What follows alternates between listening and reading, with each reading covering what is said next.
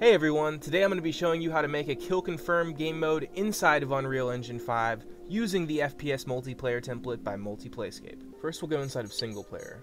Here you'll see our default game modes, but we're going to be creating our own custom game mode, and I'm going to call this custom kill confirmed. For the grouping method and spawning method, we'll keep that at team. For the time limit, we'll actually do infinite no respawn time, and a score limit of 200.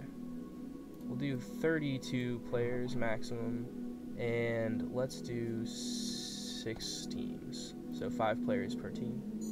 For advanced, let's have five rounds with uh, five lives per round, actually. And let's have it set to winning by two. Now for objective, we will choose fallen object on death, and from there we will click kill confirmed.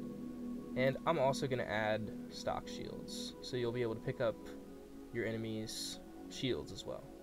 For AI, let's do autofilling, and let's keep this at level 1 difficulty. Now for player ability, let's change the shield max to 200 and that's it. Now for HUD everything looks good.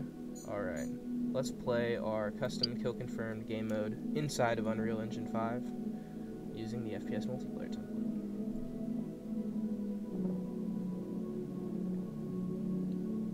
Now we open up inside of our loadout editor and I'm going to choose a shotgun loadout start. You'll see round one of five, and you can see that plus five underneath my shields. That shows me that I have five lives per round. And my teammates running around with me. Let's see if we can, oh, there we go.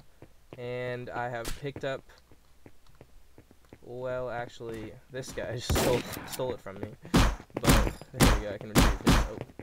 And you'll see the enemy AI picking up stock shield and the kill confirm marker.